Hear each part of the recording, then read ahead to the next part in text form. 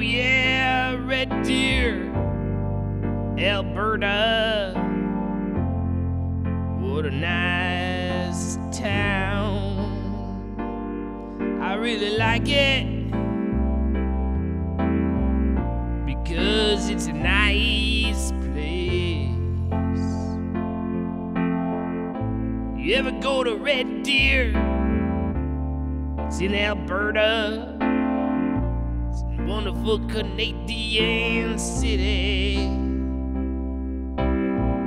It's a good place to spend your time.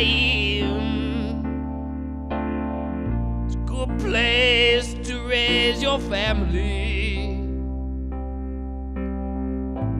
Red Deer, Alberta. It's got so many nice neighborhoods. I like to go to Fairview. Like to go to Devonshire. I also go downtown. And the times I go to Johnstone Crossing. Thank you.